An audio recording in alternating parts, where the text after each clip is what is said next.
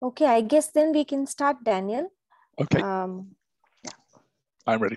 Great. Well, um, good afternoon, everyone. Uh, thanks for coming back. Um, so today I want, to, I want to go over some work about motor learning and particularly looking at how we learn repertoires. And again, I'd be very happy to have interruptions at any point on, on this work. So the idea is that actually we don't just learn one thing through our lives, we have to learn many things. And we can think of, you know, learning discrete things. For example, as we handle um, like tea, our hand can be in free space, or the hand can interact with the kettle, and it can be in free space again, and it can interact with a teapot, and so on.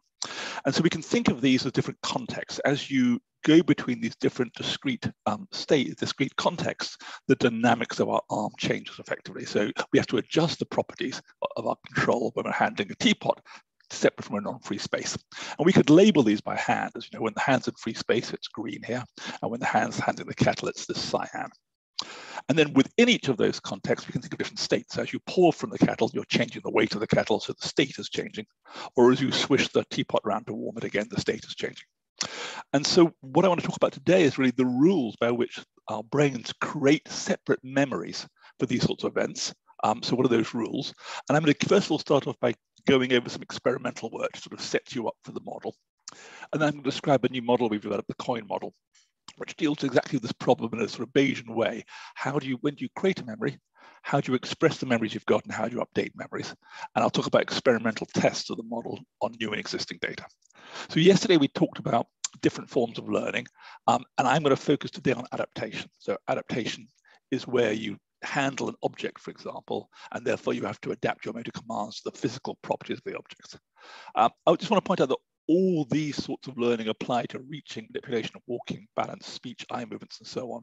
But we're going to focus on reaching because that's uh, the main paradigm which has been used um, to study adaptation. Okay, so adaptation to novel dynamics is, is, it requires us to um, change the relation between the motor command and the consequences by applying forces. So, you know, you can do it by putting a weight on the arm or holding an object in your hand. It's been studied by taking people into space so they're in zero gravity, so the dynamics change. You can ask people to hold onto gyroscopes or be in rotating rooms. And all these things change the you know, properties of the body that you have to adapt. The trouble with them all is they don't have precise the sort of precise control we would like to be able to um, test experimental ideas. So we get a lot of work building robotic devices where the robot can basically simulate novel dynamics and perturb the arm. So, you know, we can have ones where you hold onto the object 2D or three-dimensional robots. And the one I'm going to talk about today is all the studies I'm going to talk about are done with a two-dimensional robot. Um, here's a participant um, in one of our rigs.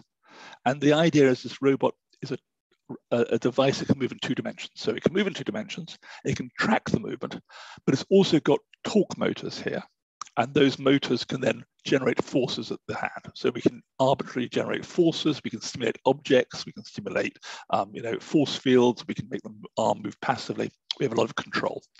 This is a side view. And what we do is we have a, a monitor facing downwards and a mirror here so that images appear in the plane of the movement.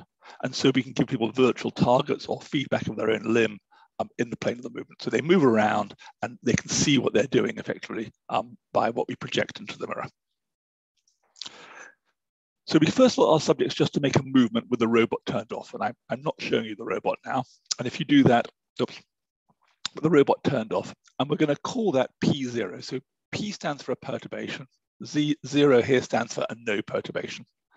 We can also then apply a perturbation. A typical one we're going to apply is one where the force in the x and y direction is some gain times this matrix times the x and y velocity. And if you plot out the forces as a function of velocity, it looks like this. So if you don't move, you get no force. The faster you move, the further you are from the origin, the bigger the force. It scales linearly. And the force always acts at right angles to your direction of motion. So if you move to the right, it's going to push you up. If you move up, it's going to push you to the left. So if you were to make this movement here, you're going to have forces pushing you to the left. Okay, so we call this a counterclockwise viscous curl field. Okay, so this is nice. It's something you've never experienced before. So using the robots, we can give you experience which we can be pretty much certain you haven't experienced outside the lab. Whereas if we gave you an object or tool, you may well have seen that sort of object outside the lab. And so this is going to perturb people, and we're going to call it P plus because it's a perturbation in one direction. And we can also apply the same perturbation, but with the gain now sign changed, so it applies in the opposite direction, and we'll call that P minus. Okay, so here's some examples of just movements made. So here's the movement made in P0, nice straight line movements. If you apply the P plus field early on, you see people are perturbed to the left, not surprisingly, and they correct during the movement to get onto the target. After experiencing it for maybe half an hour, they make nice straight line movements in P plus. And if we suddenly turn P plus off without telling the subject, we see this after effect. They now make a curve movement the other way. So participants are sort of learning something about the force field as they experience it. One way to, to measure learning is to measure the deviation um, of the trajectory from a straight line, so the maximum perpendicular error. And if we plot that uh, here, this shows you a sort of typical trace. Before perturbation, it's almost zero. When you're perturbed, it becomes large, and it goes down over the course of an hour or so. When you turn the force field off, it becomes large again, and participants de-adapt. The trouble is of using this measure of learning is twofold. One, it doesn't allow us to quantify um, how much of the force field you've learned. It's not easy to say, you know, you've learned half the force field or a third of the force field. And moreover, it's problematic because okay, it's problematic because if you co-contract stiffen up your arm, you can learn under this force field. Okay, you can learn this way, but that's not true learning. So we want a way to measure true learning. So we don't like to use this particular measure. So a new technique has been developed in the field um, in which we do something rather different.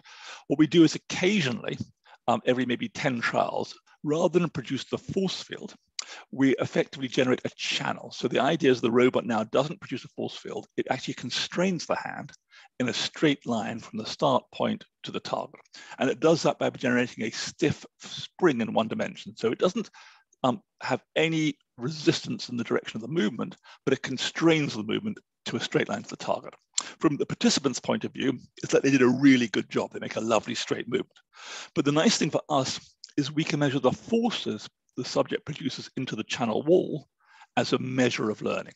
So maybe they produce this force into the channel wall, and we can work out what the ideal force would have been to compensate for the force field. So given the velocity they move, we know what the force field would have been, and it would have been this, for example, and therefore we can quantify learning as maybe 30% and 50 or 75% as they go through.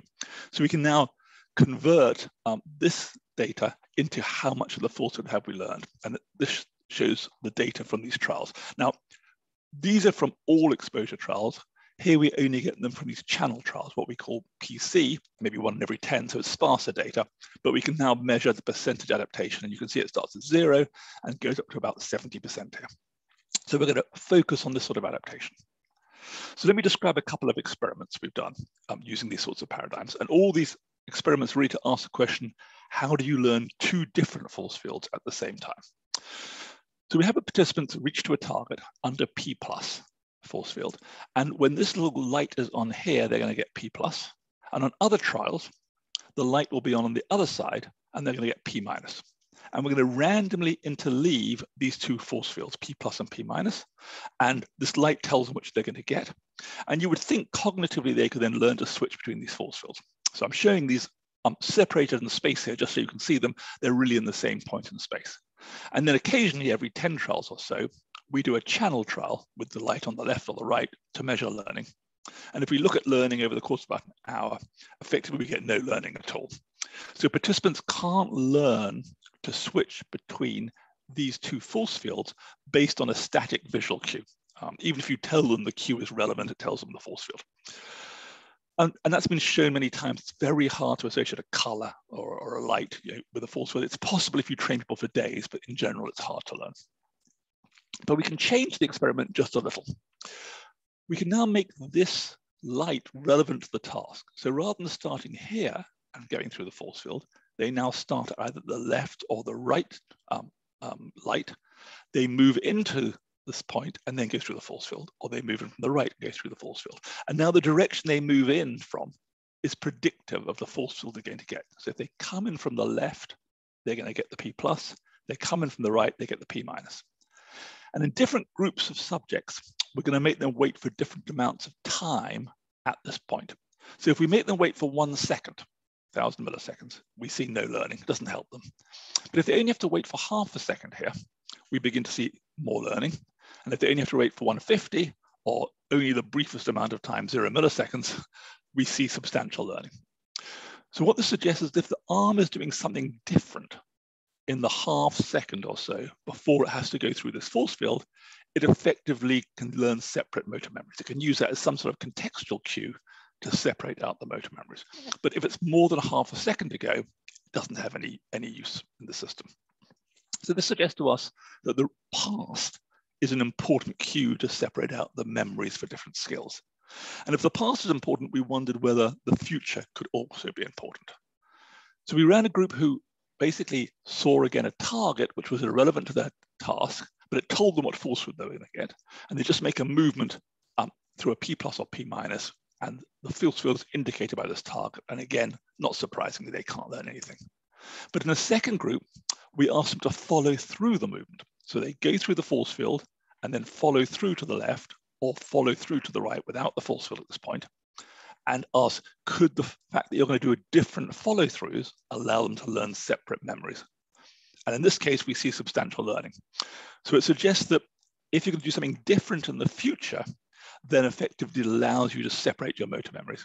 Yes, question.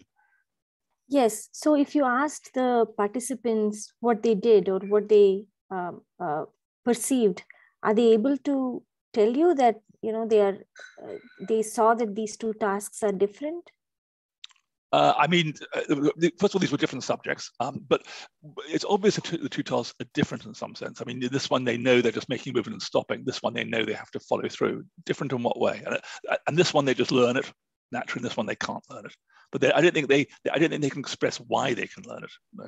Okay. Is, is, that what you mean? I mean, yeah, yeah. No, if they're, if they're actually strategizing in some way. No, I, I think this is not a strategy. I think this is just a natural consequence of, of following through that you learn this. I don't think it's. I, I, I don't think. and I don't think people know that had this group don't know that had they followed through, they'd have been able to learn it. I don't think they know that. I don't think people okay. are aware. Okay. So this is interesting. So it suggests that what you do after you do a skill actually affects the way that skill is stored. And that's sort of interesting because um, you know, if you think about sports, you're always told to follow through in sports, but following through is a bit weird because when you let go of a ball or you uh, make contact with the ball, whatever happens to that ball after, you, the follow through can't really affect. Um, I've got a question. So, yes. I see a hand up. Is there a question? Huh. So I, I wanted to ask, like, is there any temporal dependence in this case as well? Like, if you ask them to move the I mean, in, yep, in the in the yep. previous case. I understand. Um, we, we didn't test that. I mean, you're asking if we made them do the follow through after half a second. Um, yes. The, the, follow, the follow through effect is much weaker than the lead in effect, so it's much less learning. So our assumptions would be that it would tail off if we made them um, wait. We, we didn't do that um, just because it requires another group of eight subjects for each delay. We, we didn't test it. Uh, our assumption is yes. Okay. But we don't know the answer. Okay. Okay. Okay. Okay. So so in follow through, if what I've just told you is true, um, if you make the same follow through for a skill, so let's say I'm learning just a P plus now, and I make the same follow through each time, then effectively um, I should be storing that in one memory. On the other hand, if I make uh, learn the skill P plus, make a different follow through each time, then effectively I'm going to be storing, I'll come to the question in a minute, I'll be storing that P plus in different memories. So the prediction of what I've just told you is that if you do this, you should learn a single skill faster than if you do this. And we tested that in, in two groups, one of which did a consistent follow through in red, just learning a single force field, one who did a variable follow through. And again, the group who did the consistent follow through learned substantially faster. I mean, it, this is a simple thing, just learning one field, but they were faster, suggesting that they were consolidating that learning. So it suggests that one reason for a follow through, and there are many others, I think, is that you might be then consolidating that learning in one memory.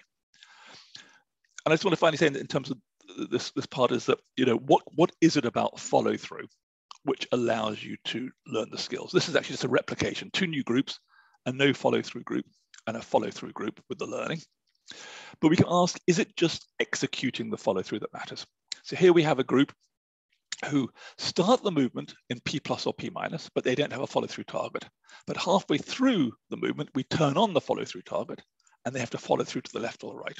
Okay, so they never get to see the follow through before they start the movement, but they get to execute it.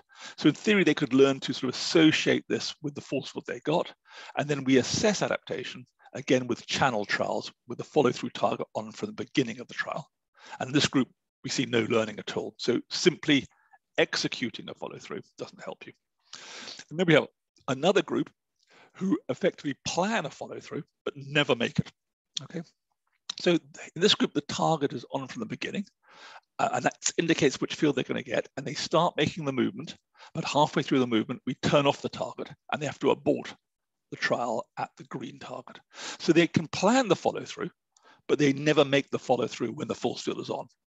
And to encourage them to plan the follow through, we have many of these cast trials where again, follow through targets on the beginning, but they're in a channel. So they get to follow through, but there's nothing to learn. So that encourages them to plan on every trial because many trials they do follow through, but just on those ones, there's nothing to learn.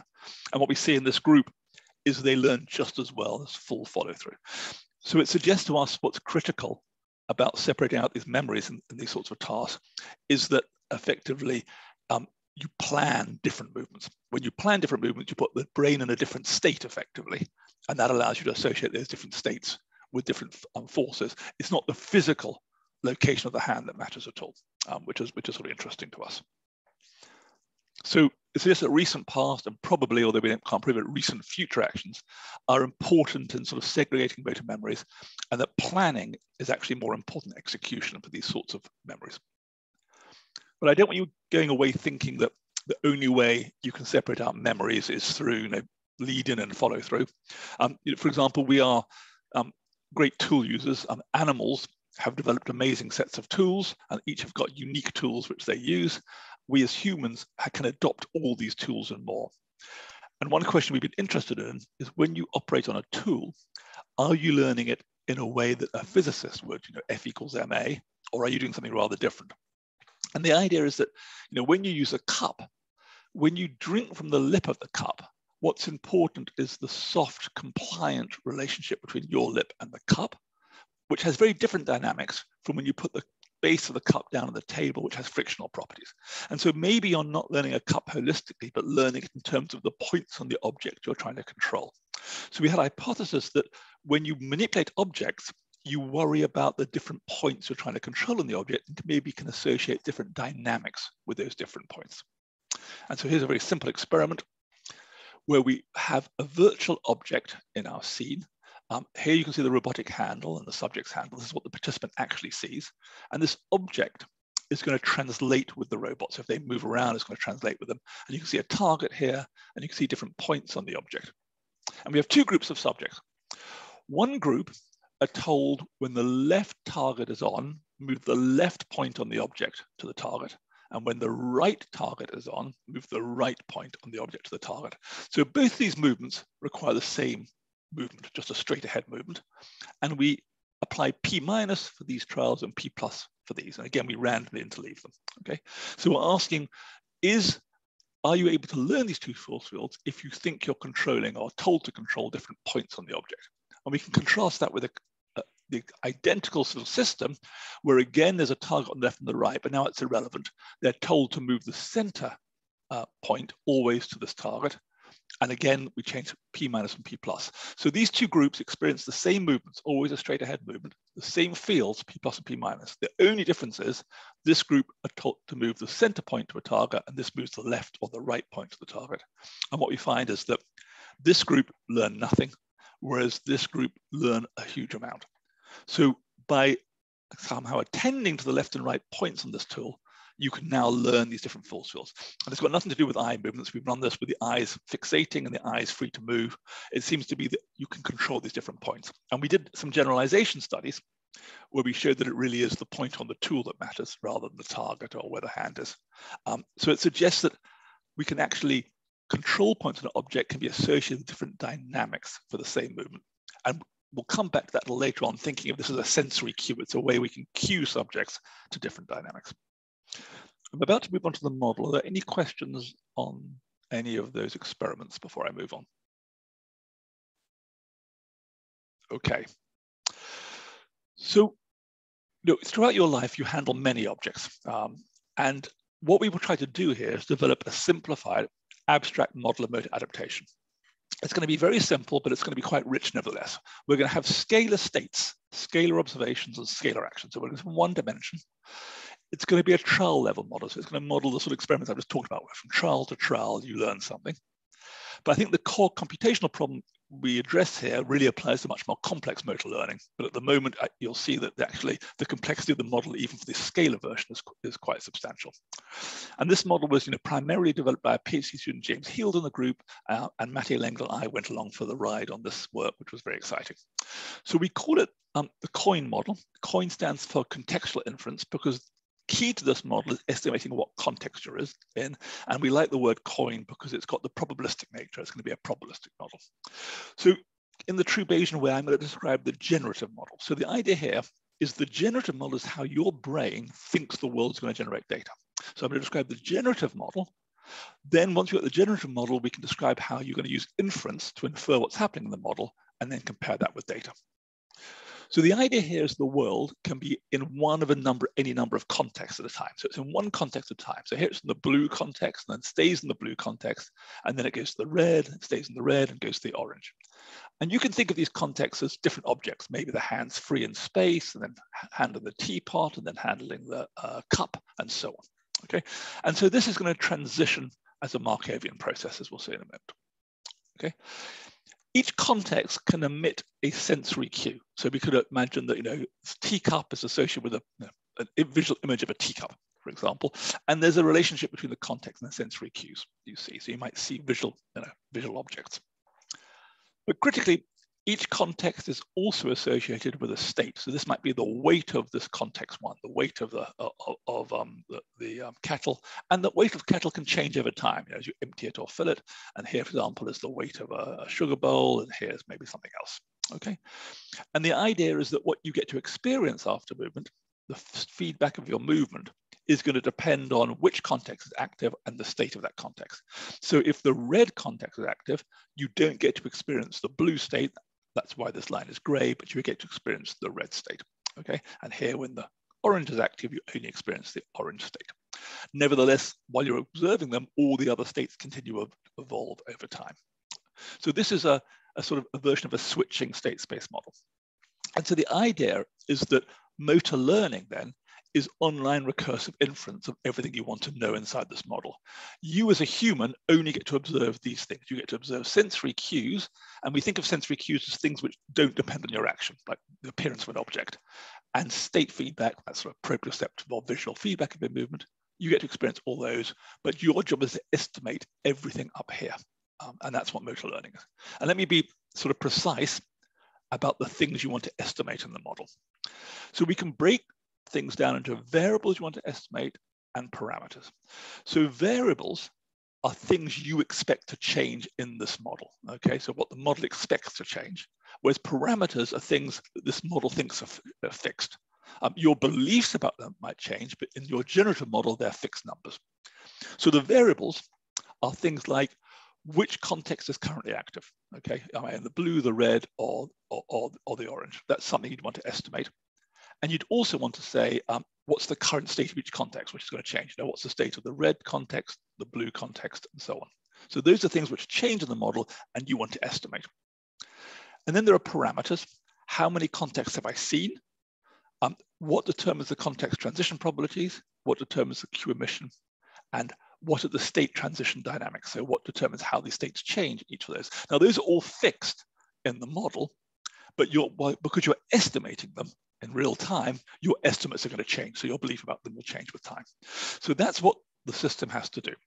Now, in order to specify how it's going to do it, I have to put priors over everything I care about in this model.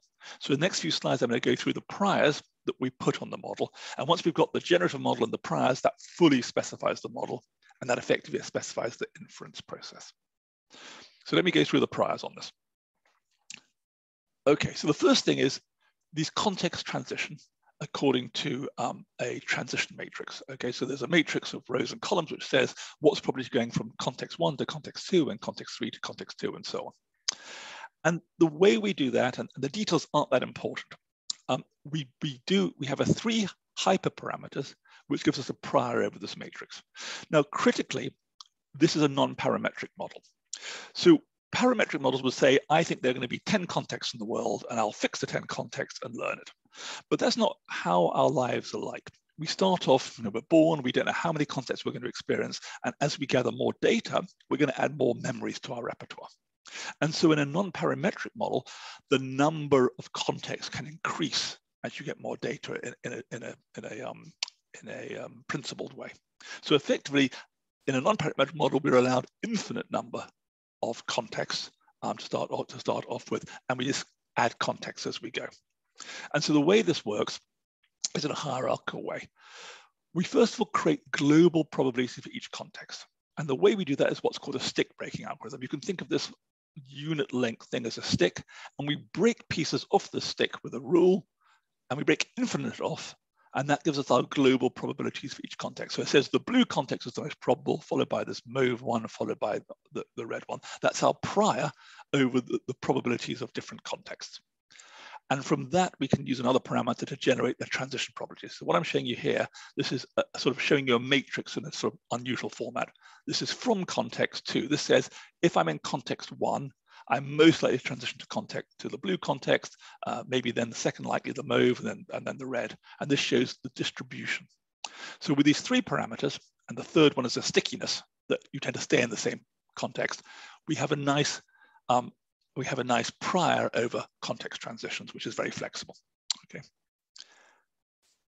We simply use a very similar prior over these cue emissions. So the cue emission says how probable for are different visual objects in the world. So maybe cups are more probable than sugar bowls.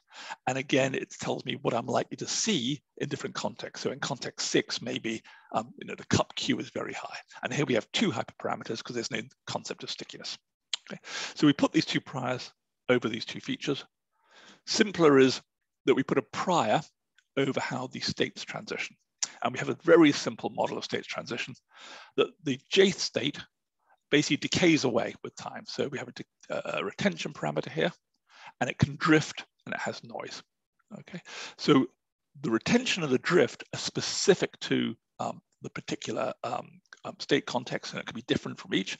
Uh, the noise properties are going to be the same across all possible contexts. And then we put priors on those, and we very simply the um, retention is a truncated normal because it can't go below zero above one um, with two parameters and the drift is just a zero mean Gaussian prior.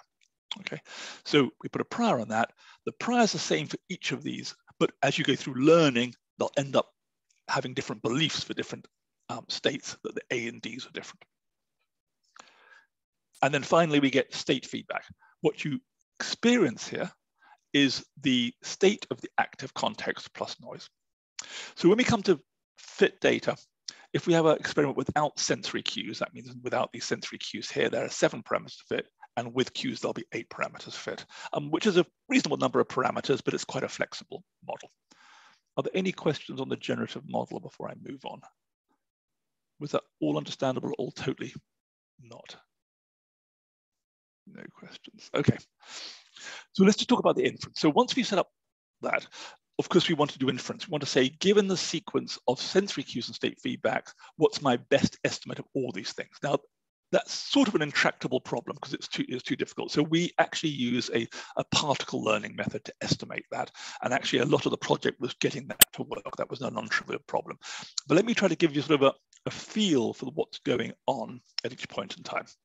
So um, we're, we're, at some point in time t, we have some estimate of the context. We have a belief over the different contexts. We think there's some belief over that the blue context is right. And we've at this point in time only estimated there's one context in the world, but we always assume there might be a novel context. So here is the state of our blue context we've estimated. Here we have the state of a potential novel context, which is always the same. We come into this beginning of this trial with the belief over context. This is the probability of each context given the sensory cue I'm just seeing right now, okay? And so this is the predicted probability, is how much I believe I'm gonna be in the blue context or a novel context on this trial. And so we use that to weight these beliefs of these two things to generate the motor command. So effectively I'm working out the weight of the object from these, and that's gonna determine my motor command. So what I have at the beginning of the trial based on what I estimated from the previous trial and the sensory cue, I can generate a motor command. The motor command then acts on the movement, I get state feedback. And now I can use state feedback to update my belief that I was in the blue context or a novel context. So we go from these predicted things at the beginning of the trial to these basically posteriors, my belief of different contexts, given I've seen now the cue and the state feedback tells me how likely I was. And if it turns out that the novel context is, is, is likely, I will then generate a new context, okay? So if I can't explain it with my current states, then it might be time to generate a new memory. Okay, so that's how memory creation works. So here's a new memory I create and I spawn that off from the novel context. And finally, I also use these responsibilities to gate learning. Each of these have to be updated based on errors and the way I update them depends on these responsibilities. So this model deals with how you express memories. You combine all the memories you've got based on these predicted probabilities. It deals with memory creation, as we'll see in a moment, that if I can't explain the data I'm getting with my current context, I might generate a new memory. And it deals with how you update multiple memories. Um, and inferences used with particle learning. So let me um, give you a toy example of the model, because I think it'll make it much more intuitive. Here's a toy example of the model. Here is the data. Here is state feedback, which is going to be the sensed weight of a number of cups and a sugar bowl. So you experience a number of identical cups. So the sensory cue here, this cue is identical at this point, and then becomes something different um, at this point when you see a sugar bowl. And you handle a light cup, number one, then you go to cup two, which is heavier, back to cup one. You experience cup three, and maybe you empty the water from cup three and back to cup one, and then to the sugar bowl, which weighs the same as cup two.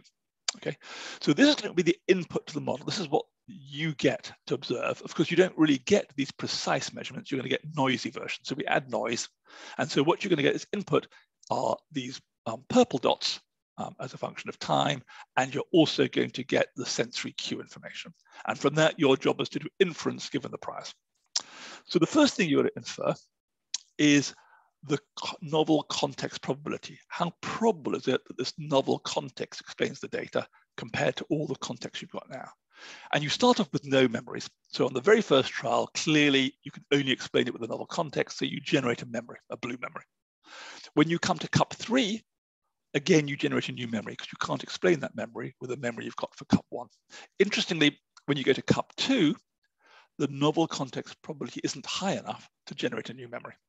Yet when you go to the sugar bowl, even though it weighs the same as cup two, because it's got a different sensory cue, in this case, you generate a new memory.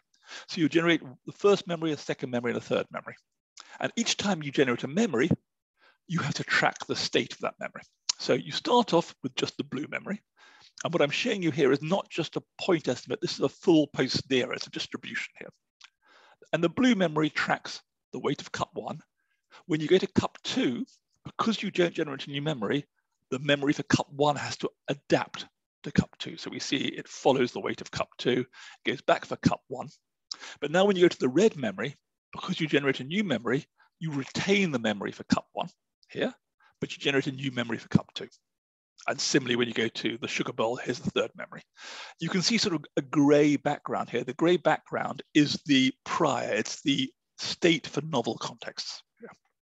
So this shows you how the states um, adapt as you go through the movement. But this isn't what you express on the outside world. What you express in the motor command is a mixture of these based on how much you believe you're in each of these contexts. And that's shown here. This is the predicted probability, having seen a sensory cue, the cup or the sugar bowl at the beginning of the trial, how much do I believe I'm in the blue context, the red, or the orange? Now to start off with, you've only got the blue context, so you express it fully.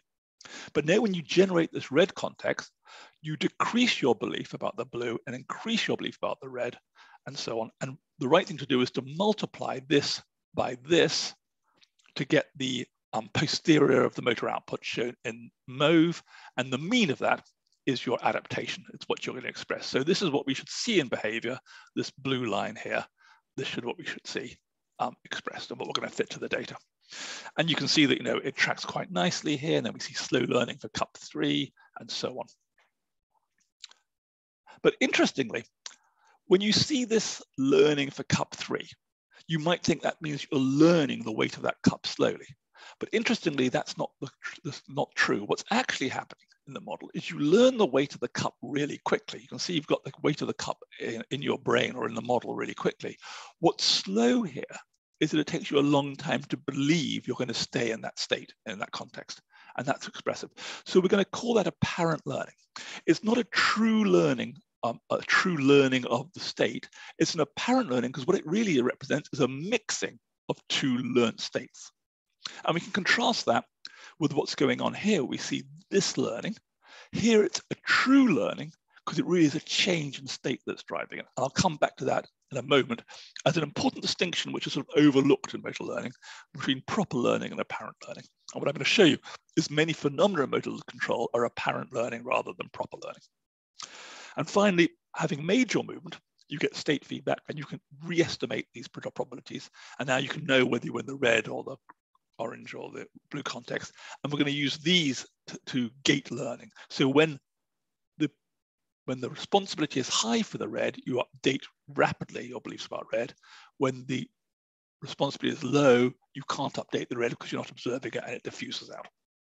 So this does very deals very nicely with memory creation, memory expression, and memory updating. Okay, so now we're going to apply this um, to experimental data if there are not any questions. Happy to pause for a moment. Okay, well, before I do, I want to show you three learning curves which come out of the model. So these are three learning curves. Um, so here is um, the training data. So basically, this is what you get to experience, a step change in um, some adaptation. So going from, let's say, a P0 to a P plus force field. And here is the learning curve of three different simulations. And what I want to point out is just looking at these learning curves, you can't determine what's proper learning. Only by looking under the hood at the model can you tell. So for example, in this case, what's happening is the participant starts with one context and they adapt that context. Okay, so they adapt that state and they just express just that memory all the way through. So this is full proper learning. You're really updating the state in the system. In contrast, in this simulation, the participant came in with two contexts, a context for one, a context for zero. And what happened is these contexts didn't change, the states didn't change at all. What changes how much they were expressed? There was a reduction in the blue and an increase in the red, and that leads to this curve here. Okay, so this is fully apparent learning. There's no true learning at all. And in most situations, for example, this one, there'll be a mixture. In this case, you started with one uh, context, you generated the second context, and you also slowly transition to it. So there's some proper learning going on here, but also some apparent. So just looking at behavior, it's not easy to determine whether you're looking at proper or apparent or a mixture of the two. And I think that's an interesting question um, for the future. Um, I think I'm going to skip this because it's not that important. I'm going to go to this. Right. Can you elaborate more about gate learning? Uh, gating, yeah, sure. Um, the, the point is,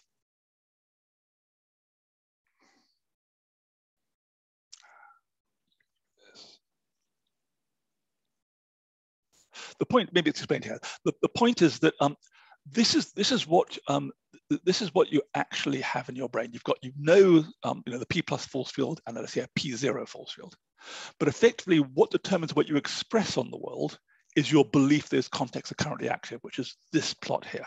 So this is what determines um, how much you're going to express your learning. Um, actually, I think you're talking about the previous thing, how much you express your, uh, me, oh, these animations are slow. Sorry, you're talking about gating learning. I'll get back to that. Okay, this is the, this is the, this is the learning part, what, what you're actually updating in your brain. So um, this is just about creation. This is what you express. So this isn't learning. And this is about actually updating your beliefs about these different states. And effectively, having made a movement that says, how much do I believe having now finished the movement that I was in different um, contexts? So I'm, at this point, I think I'm definitely in the red context.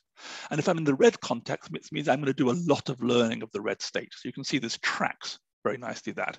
But when it's low responsibility, you're not going to do any learning of the red state because you don't believe you're observing the red state, so you can't really update it. You can see it diffuses out here. So this effectively determines which of the different contexts is going to do the learning. Um, it, it really predicts that all contexts should learn at any one time in proportion to how much you believe you're in that context. Is that what you were asking? Or if you want, to, you can unmute yourself and ask if I didn't quite get your question. Okay, I'll move on then. Right, I'm going to skip that. Okay, okay. So here's here's an interesting paradigm called spontaneous recovery. Um, so this is the paradigm where you bring people in, you give them some P zero. So here's some P zero, just moving without a force field. You then give them a block of P plus. Um, that's force field acting in one direction. You then give them a small amount of P minus, force in the opposite, opposite direction. And the idea is they're going to adapt to P plus, and this will bring them back to close to baseline. And then you put them into a long series of channel trials. So they're just going to be in channel trials where there's nothing to learn, but you can look at what they express in learning. And the interesting thing is when you do that, you see the following data. This is this. You start here. These are only the channel trials I'm showing you, which are interspersed. There's no learning. They now learn to the P+. plus. We de-adapt them. And in fact, in this case, they came a bit below the baseline. So when they go into the channel trials, you might expect they just drift back to zero. But what happens is they tend to re-express P+. plus. Okay. So the spontaneous recovery is a transient re-expression of P plus, even though all these trials are in the channel, so there's nothing to learn, okay? Which is somewhat surprising. And there's a nice model which explains this data um, proposed in 2006, which is a very popular model, which I think I'm going to show you is wrong, but let me tell you about the model. It's called the dual rate model. And what it says is that when you learn these sorts of things, it's not one process learning. They're two separate processes competing to learn this force field. There's a slow process and a fast process. So the output of the model is the combination of a slow process and a fast process. And what the slow process does, the slow process is learns from the error. So this is what this, this is the error you get between your output and the actual force field. And it says, I'm going to learn slowly, but I'm also going to forget slowly. Whereas the fast process has exactly the same form, it just learns quickly and forgets quickly. So if you run this model, what you get is the motor output increases here, is back to zero. And even though it goes into channel trials here, um, what you find is that it re-expresses the P+. plus. And if you look at what's happening to the two components, you see the following. The fast component, looking green, starts learning first because it's fast, but it also decays away quickly, which means the slow component takes over in red here. And so by the end of learning, it's mostly the slow component which is, contributes to learning. When you de-adapt quickly, here, it's the fast process which de-adapts. So by the end of the phase here, when you've got zero motor output, it's because the slow process is positive and the fast process is equally negative, so they sum to zero. When you get into this channel trial phase, there's no more learning because there's no error anymore. So all you get is decay, but the fast process decays away quickly, revealing the slow process, leading to the spontaneous recovery. Okay, so that's the way this is typically explained, this sort of spontaneous recovery phenomenon. So here's the same paradigm run on the coin model. So we run this paradigm on the coin model. And what the coin model does, it starts with one um, context P0. When it experiences P plus, it generates a new context. And when it generates P minus a third context, by the time it comes to the channel trial phase, it's got three contexts inferred. And importantly, when it goes into the channel trial phase, it knows that the P plus is the most common context it's seen. Okay, it's seen it the longest. So that when it goes into this phase, it actually increases its belief it's in the P plus phase, the red phase. And that leads to an increase um, in the expression of P plus and spontaneous recovery. So in the coin model, we're getting changes in the motor output without changes in the internal state. I mean, the internal states are pretty constant here, but it's really apparent learning driving this. In the dual rate model, effectively, you can only get changes in the mode output by changing the internal state proper learning. So one way to test between these two is to give the system some strong evidence that P plus has returned. So we run identical paradigm as this, except the beginning of PC, we give two P plus trials, which in the coin model is strong evidence that P plus has returned and leads to a rapid increase in this probability and what looks much more like what we call a evoked recovery rather than a slow spontaneous recovery leads to a rapid recovery followed by decay. And what we're going to see is the dual rate model can't explain this because in the dual rate model, two P plus trials aren't enough to change the internal states in this way. So um, here's our model. Here, here, oh, actually, this isn't the data I wanted to show. Okay, here's, here's the dual rate. Why is this? This is not the data I wanted. Hold on. Oh, let's go to this slide. Am I still sharing it? Have I lost it? Let me share again. Sorry. Okay, here, here is here are the two groups of subjects. Here's a group of subjects run on the spontaneous recovery, and here's a group of subjects run on the evoked recovery. And what I'm showing you here is the fits of the dual rate model. So the dual rate model does a good job of explaining spontaneous recovery, but it really has a qualitative mismatch here for a, evoked recovery.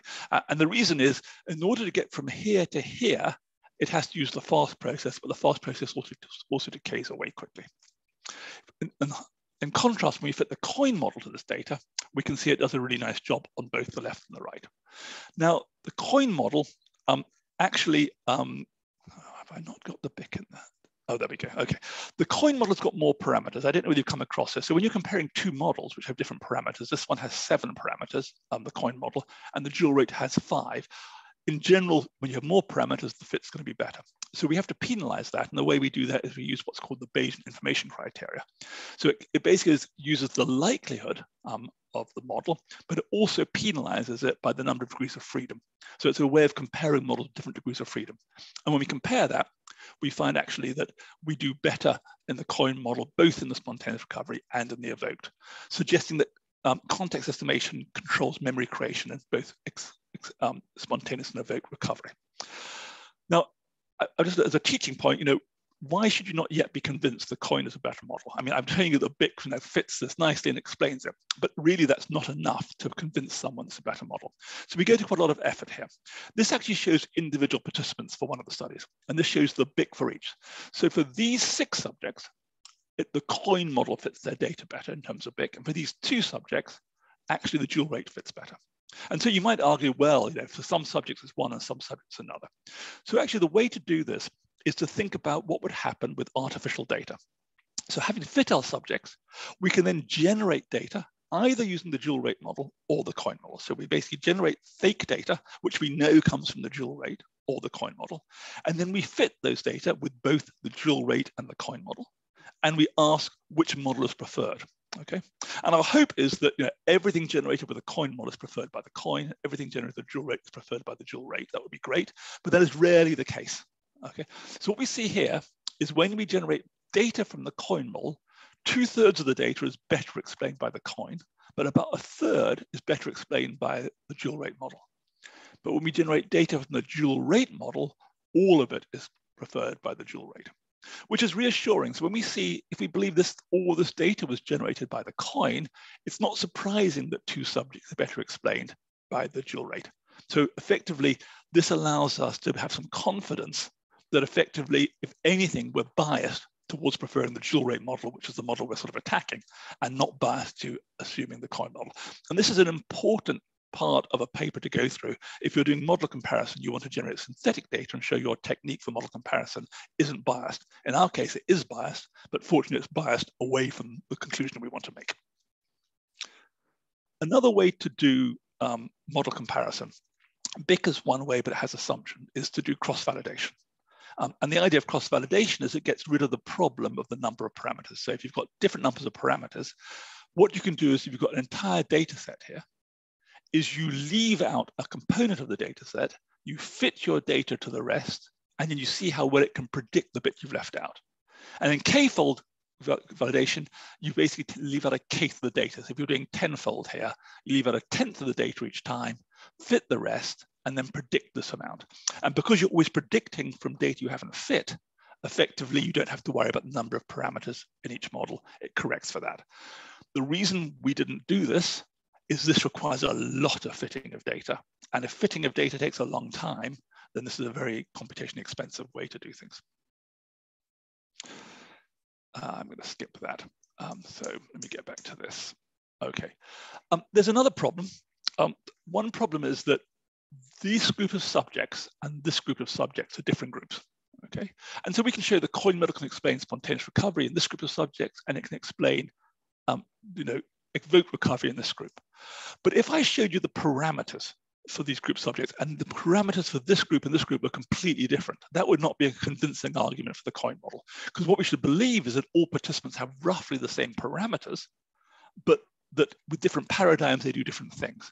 So we go to a lot of effort again to show the parameters. So for example, here are the, all the parameters in the model plotted against the, uh, um, the parameters for the spontaneous and evoked. And what you can see is the green and the blue are clustered around each other. So it's not like you have to have different parameters to fit one data set from another data set, which is reassuring. And finally, we do robustness analysis to show that the exact parameters don't affect it. So here, for example, we see spontaneous recovery, and then we can add noise to the parameters. And we can show if we add enough noise, we get rid of it, but you have to add a huge amount of noise to do it. So it's quite robust to the parameters. So um, we can also look at different predictions. So I said that the reason you see spontaneous recovery is because that P plus is the most common thing.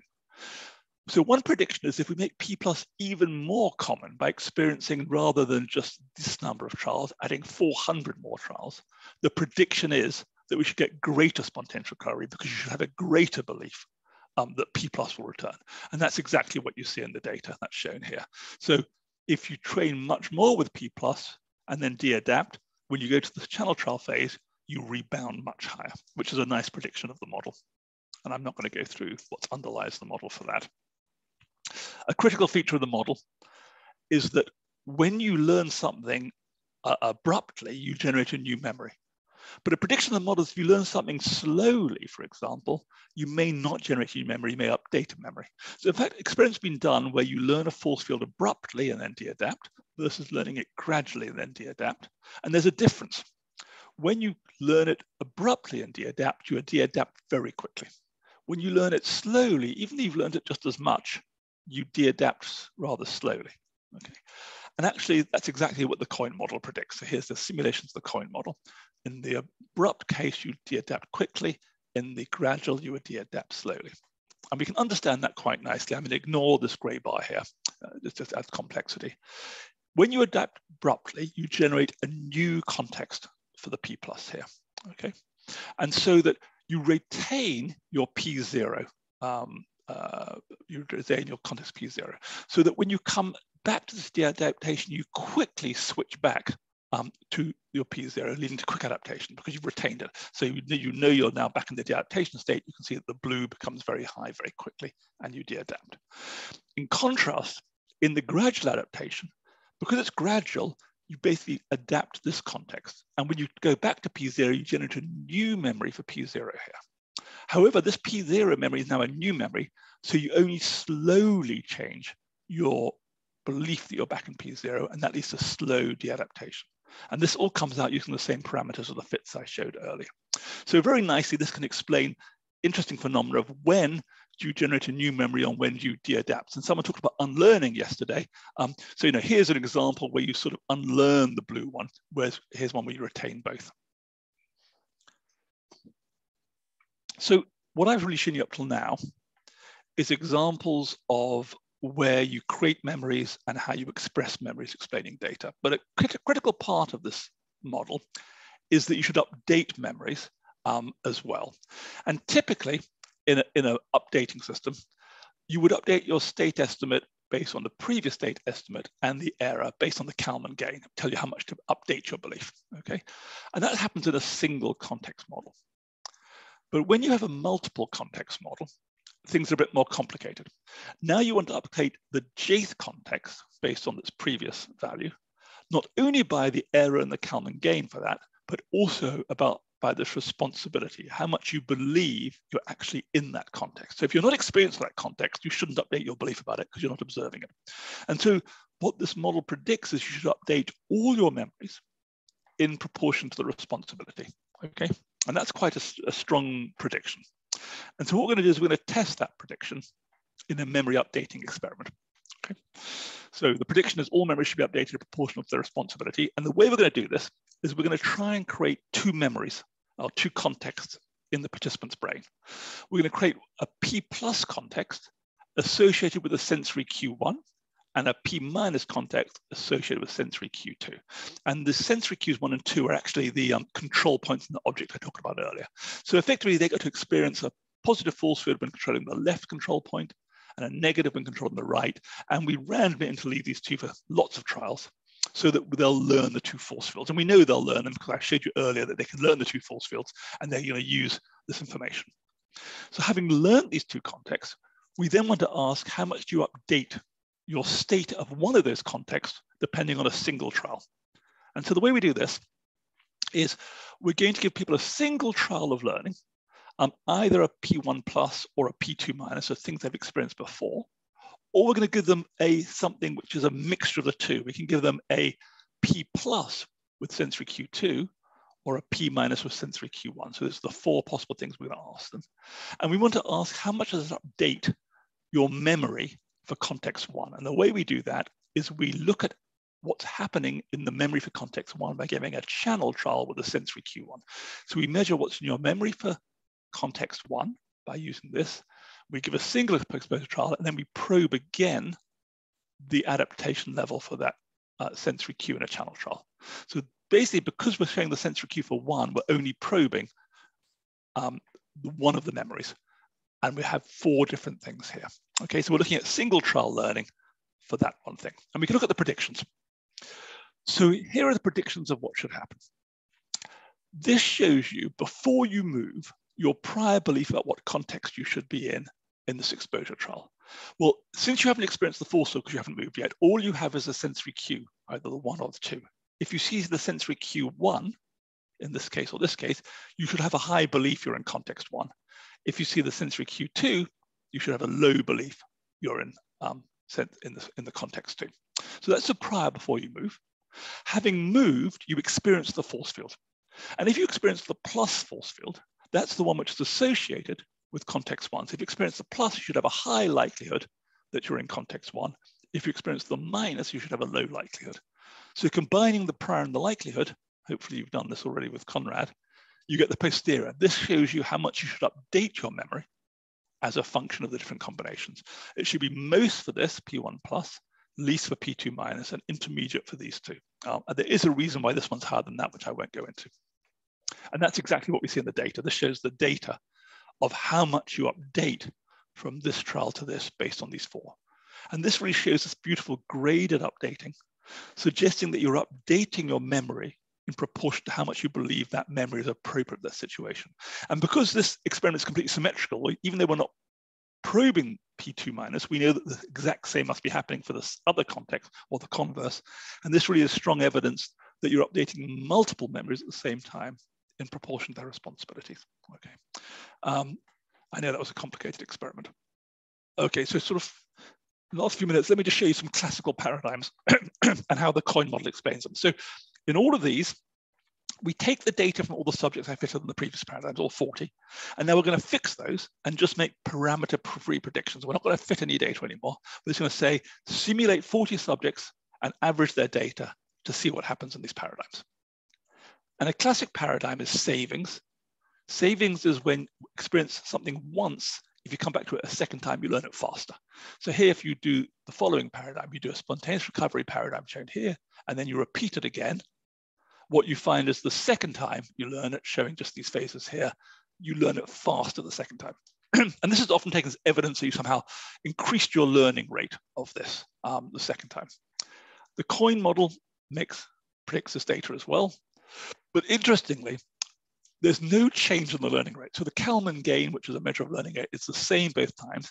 And actually the state, um, internal state is the same both times.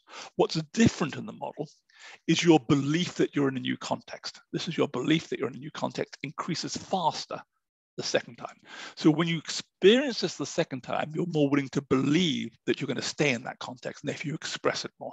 So this actually is apparent learning, this effect um, the fact you're expressing things more rather than the actual internal learning is different. A similar thing happens in anterograde interference. So anterograde interference is where the longer you learn um, a P plus force field, the harder it will be to learn a P minus. Um, and that's shown here. So the longer you learn this one, the harder it is to learn the opposite. It's actually easier to see in this, that effectively if you just learn P minus in black, it's fast. But as you learn P plus for longer and longer, it's slower and slower to learn P minus. Again, we reproduce this behavior. Again, there's no difference in the learning rates or, or the states. What's different is your predicted probabilities. Basically, the longer you learn P plus, the less willing you are to believe you're going to move into a different force field. Because I've experienced this for a long time, I don't think that I'm going to move into a different force field and therefore it's harder to learn it. So again, this is an apparent learning effect that you're not willing to express the learning, even though you've learned it equally well. You actually have in your head P minus equally well for each of those, you're just not expressing it equally well. And finally, this is a nice example from a, a, science paper a number of years ago, which looked at volatility. So if you experience a force field which switches rarely versus a force field which switches rapidly, and then look at a single trial learning, what you find is if you're in a force which switches frequently, that the amount of learning you get to a single trial increases, whereas the amount of learning you get in this environment decreases. And the idea was that maybe you increase your learning rate when you're in stable environments and decrease your learning rate in unstable environments. What we find in our model that we qualitatively reproduce this, but again, there's no difference in learning rate at all, or the amount of learning you see in these. It's all driven by the prediction that the force field will stay to the next trial. The idea is that in this situation, you think anything you experience is likely to stay. So if I learn something on a trial, I should express it on the next trial because it's likely to stay around. And therefore I express it a lot. This is the expression. Whereas here, if I learn something on a single trial, it's unlikely to be there on the next trial because I might switch to a different context and therefore I shouldn't express it. And that's what gives you this. So again, all this phenomena is driven by apparent learning again, that effectively in all these situations, the internal state and the learning is identical Eh, all the reasons for this is driven by your belief about what context you might be in. Um, I think I might skip implicit and implicit. I feel that I've maybe lost people. I might let people ask questions. Does anyone have any questions or want to go over any of that again? Let me pause.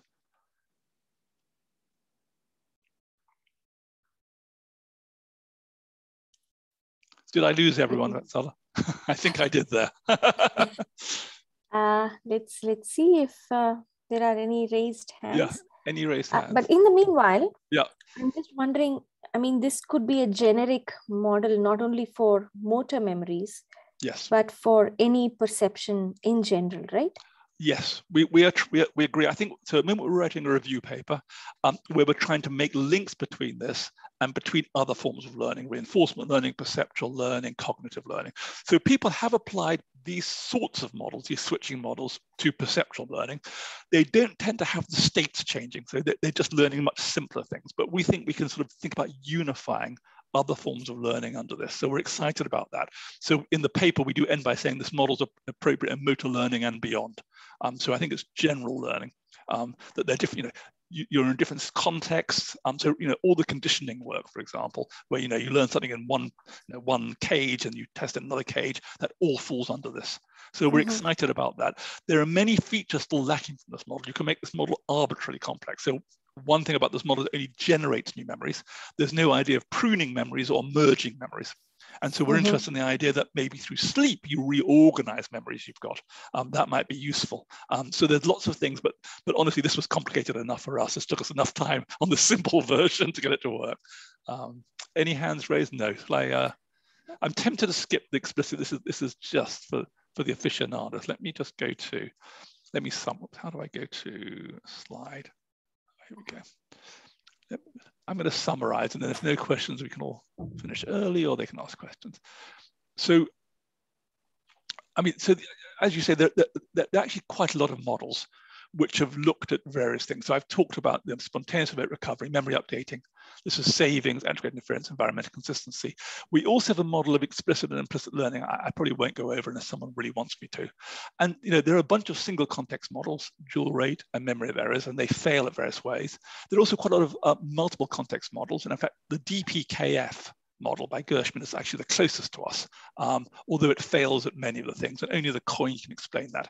And I think part of the reason is that you know what we have in the generative model is relatively unique in that you know lots of them don't model state dynamics or don't model context transitions or they have no sensory cues or they're not hierarchical or they assume number of contexts are known and in our inference several of these only update a single or express a single memory so i think it's really crucial that we express multiple memories um, and also update multiple memories. And learning parameters online is also very important. So um, I, have covered a bit about the rules for motor memories. about the coin model. It's principled in that it's Bayesian. So, you know, once you specify the generative model, there's no more fine tuning or complex things to be done. And, um, and um, it's comprehensive in a sense that we incorporated all sources of information. I mean, this is all you have is state feedback and sensory cues. And that's all source of information. We can make them more complicated. They're only, only scalar at the moment, and sensory cues at the moment are sort of um, uh, categorical. And it unifies many different data sets, which is good, and it clarifies the difference between apparent and proper learning. Um, I've got a question. Please, can the link to the model be given? It would really help. Do you mean the, the, to simulate the model? Is that what you're asking for? Um, if you go to the Nature paper, which was published yesterday, it has a link to um, the code, MATLAB code to, for the model. Um, and so we've released that model, it's, it's on a GitHub, uh, and it allows you to both um, simulate and fit data. Um, so please go and try it out on any data you have. Um, we'd love to know what you think of it. And I'm happy to hear, yes, there's a question. If you unmute yourself, like Prashali. Ah. Prashali, are you able to unmute yourself? You did just. There uh, yes, yes, yeah. Sorry, sorry. Hi, Daniel. Fantastic, fantastic talk. Uh, so I, I, had a question, probably a very stupid one. Uh, so uh, when you were comparing the coin versus dual state model, and you give the the two XP context, uh, I'm not quite sure I understand why would there still be a decay. So when there is a recovery, there was a decay. But if, let, if let, let me, a... let me go back to it. Let's just just yeah. sorry, just make sure I understand what you're saying. Uh, so oh, I've oh, silly me. I've I know I shouldn't I have to probably share it again, don't I? Because, so you, what, what was the question? Just say the question again, sorry. So uh, when you were comparing the coin versus dual state model, Yep, yep, and then yep. yeah, and you give this 2xp. So uh, so in the coin model, why would there still be a decay? This decay here. Yeah. Uh, so ah, okay, okay, yes, because in our in our state, um, if you remember the state equations, the state was the previous state plus some retention parameter A. Right. Um, okay, times A. And so you've learned that things tend to decay. So basically your prior is that A tends to decay. Ah, okay, okay. Okay, okay yeah, but so, part, yeah. yeah. yeah, So basically uh, both models have a sort of decay term in them, um, which is classically put into these state space models. Interestingly, the reason it doesn't decay to zero here is because it also mm -hmm. learned there's, there's a bias. So remember, there's a bias in it. So basically the bias right. and the decay cancel out. So it goes to some non-zero asymptote here. So ah, that's why okay. it decays. Uh, similarly, you know, this model decays, but in order to jump from here to here, it has to use the fast, and the fast has a, has a fast Right, decay. the fast decays fast, yeah. Yep, yep. Yeah, yeah. Okay. Okay, thank you. Great. Any other questions?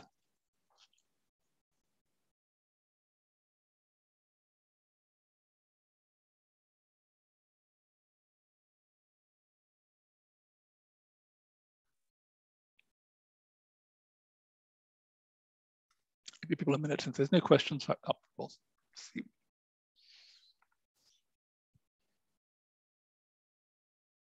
People are tired at the end of two weeks. That's all right. There don't need to be questions. If there aren't any, I, I, I will let you all go early. Is that allowed? Yeah, sure. Vijay, is that okay?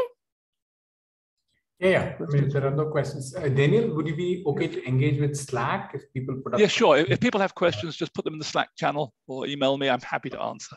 But yeah. please, I mean, if someone, I mean, someone did email me after yesterday saying they didn't want to ask in public, but you know, if you don't, if you've got a question, probably everyone wants to know the answer. so feel to be brave to ask a question now if you like, rather than secretly doing it in Slack, because then everyone learns. But I'm happy to answer in Slack.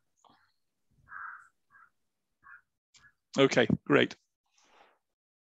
Well, thank you. I hope you enjoy your last day with Konrad. Um, I think he's going to teach you more Bayesian stuff today. Great. Yeah, I think that's that's the plan. Yeah. Okay. Okay. Bye thank then. you. Okay, thank you, thank Daniel. You. That was awesome. Okay. Bye. Thank you, Bye Daniel. -bye. Wonderful. Thanks a lot.